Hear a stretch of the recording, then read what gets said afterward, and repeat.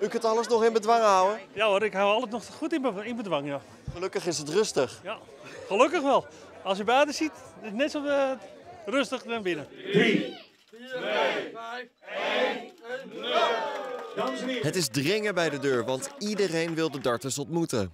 Waarom komen jullie voor hun? Omdat ik een werkstuk heb en daarvoor over darten. En dan moet ik ook een spreekbeurt voor maken. En dan wil ik graag eh, de handtekening en op de foto.